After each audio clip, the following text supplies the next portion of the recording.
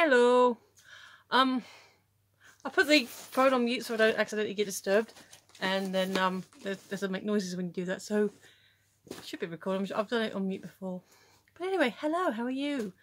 I am slightly gassy. Uh, so unboxing. Obviously, you saw the thumbnail. But before we do that, I kind of want to show you something. Well, first of all, we need the poo pajamas. I bought these the other day from Tesco and they're adorable and cute and thing. But more importantly, the jacket. You may have noticed is quite a distinct style. So, flash back to my youth in the 80s uh, when, um, believe it or not, America used to be cool. Uh, America used to be cool, it used to be the place to be. And um, for me, I always thought that varsity jackets were really cool, like the ultimate in American cool. Couldn't tell you why. Maybe it's like the whole high school thing, I don't know. But I never really had one, partly because not, not a high schooler, but also I never found like one with a design or logo on it that I liked, that, that really spoke to me. I mean, I've seen a few cool designs, but not ones that felt like me.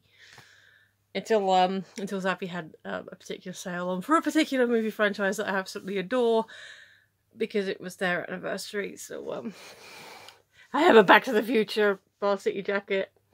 How cool is this? Oh, ah.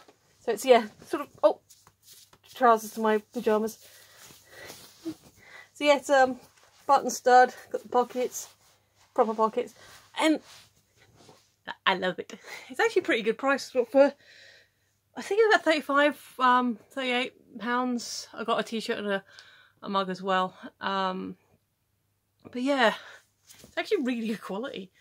Quite thick. It's like um, it's like a sweater material. So yeah, speaking of sweater, I'm going to take it off because I'm actually quite warm at the moment, which is weird I'm a bit cold, but yes. So just wanted to share that. Just want to share the awesomeness that is, yeah, nothing on the back. Um, the awesome that is my new jacket. So I hope you enjoy that. I'll uh, leave it there so it's in view. Sorry, this is my Sherlock and modest. There we go. Everyone's in camera. so yeah. Also, um, just whilst I have you here, don't forget that I do have a kind of not so secret secret project that is forthcoming soon. I have stuff for it. So um, yeah, I've mentioned it once before. I'm mentioning it again, and it it is now imminent. So yay! Also, I guess I say, hey, you, thanks for watching. If you like me, this if you like this face, um, thank you for being here. And there are buttons and stuff to do because you're supposed to do that in the intro ramble. Because I have never been good at the intro ramble. Oh, uh, Christopher Black, Beck.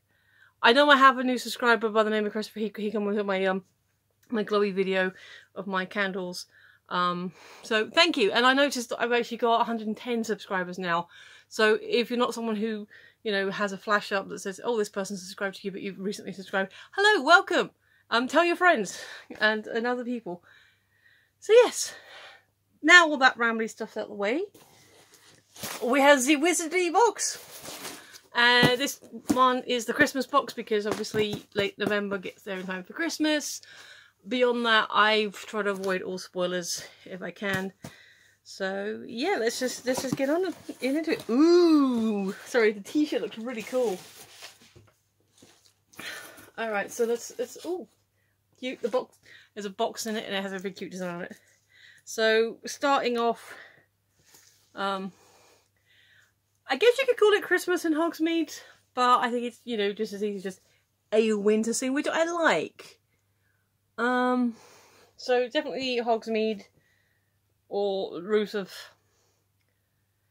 yeah it's not distinctly yeah it's it is Hogsmeade because you've got the hog's head um here. It's not distinctly overtly Christmas.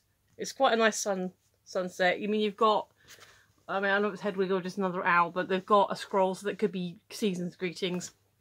But I like the fact that it is more of a wintry scene than overtly Christmassy because that means you can wear it for like the whole cold season rather than just, you know, a week in December.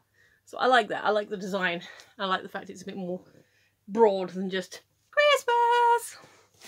So yes, uh, we have lots of blue worm dudes. Uh, we show, oh, So we have a little Christmas tree uh, with the same nonsense Latin on the sides. I did actually translate it once, it's very bizarre. it, it, doesn't actually mean anything, it's just a whole string of words that, oh, looks like you put it together. Oh, oh, oh, hang on. Oh, this is adorable. Um, I don't, I don't have a tree up at the moment. I don't know if we're putting a tree up this year. It feels quite heavy, but it's um Veritaserum tree ornament. Is so cute. I may, because what I have done, I actually have a couple of um, actually Doctor Who tree ornament. It was supposed to be tree ornament. Um, it's the um, tenth Doctor and, and his sonic screwdriver, and it's um, yeah, it's it's just it's just pinned up onto my thing. So I might just hang it up somewhere, just gently, maybe in the cabinets. I'll find somewhere because it feels like it could easily break. I don't know what I smelled it for. So, Veritaserum. I can't read. It's in Syncurly script and I have trouble reading it. Hang on a second. Um, told only by... Oh, sold only by Rubius, Winkius and Company Inc. Ah, so that's how you know it's a genuine um, Veritaserum bauble. It's, it's by these people. Um, yeah, no, that's adorable. I like that. I'm going to actually pop that onto its bubble wrap so it doesn't roll away. Alright, so far, I'm liking it. More worm dude. Ooh, that's... I'm going to save that one. Uh, we have another box. Oh! Is that extending ears? Is that... That is! Oh, that's... Okay. Um...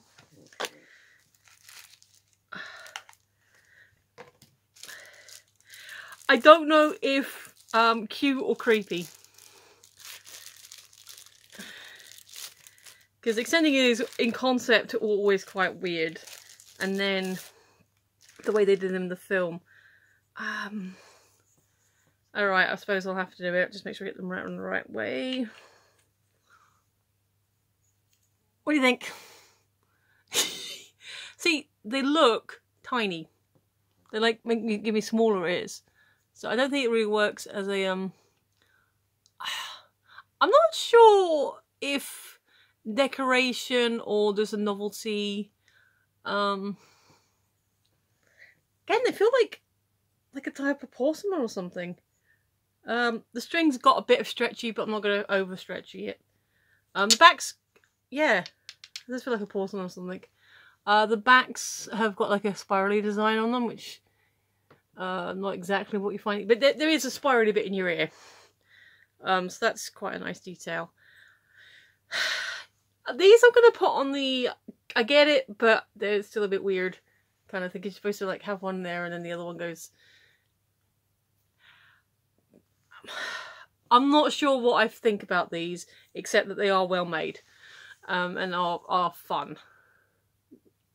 So, different. I get them that's um we'll put that in the interesting pile. Alrighty then. Oh, so as per yeah, okay. So as usual, um Geek Gear always do Christmas cards. Um both for their wizardry and for their classic boxes. So this year we have Happiness can be found uh, even in the darkest of times one only remembers to turn on the Christmas lights. So, paraphrasing Dumbledore's famous quote there. Um, blank inside. I like this design actually, it's quite quite nice without being overly busy. So that's that. And they do come with um, matching envelopes, which is which is a nice touch. Excuse me. Oh! Oh, that's so cute. Okay, um, we just have Crookshanks and the Mirror of Erised and a, and a Christmassy scene. So is that what is that Crookshanks' heart's desire? Is it is it Crookshanks or Mrs. Norris? Because Mrs. Norris is usually done more grey, whereas Crookshanks is more ginger. Um. See, maybe I'm gonna stick with Crookshanks because of the description, because of the way the cat looks in there. But it kind of in a weird way makes more sense if it was Mrs. Norris's Heart's Desire, because you know. But then again, you know, Filch loves her. You know, she she does get attention. I'm sure they I'm sure they do something nice for Christmas. So we'll go with Crookshanks. Um, feel free to add your thoughts or comments on which cat you think it is. Um. All right, we're gonna grab this because it's. I can't grab anything else with it there. It's it's a it's a squidgy thing.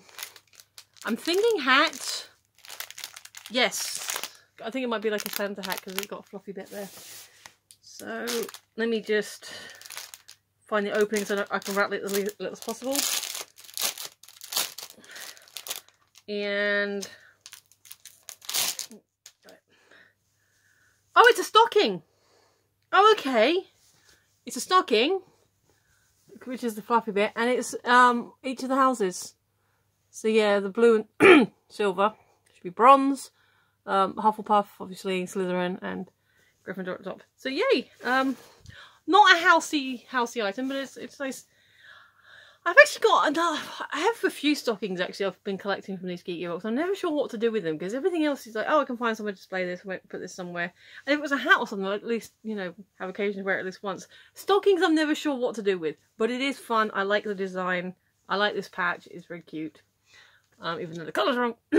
but yes, so like it. Just okay. Uh, this is I think that's a cheat sheet, so we'll look at that in probably in a minute. Uh, we have, oh! Okay, we've got the charm, which is tiny. Tiny charm, this it's the, um, the broom. This has got to be one of the tiniest charm, even compared to like the, the feather and that, it seems tiny. Sorry, headphone users. Let's do rattling. Come on, out you come. Seems right. Uh, this my camera's not gonna pick up on this. Uh, yeah, it's it's a broom. Uh, hang on sec.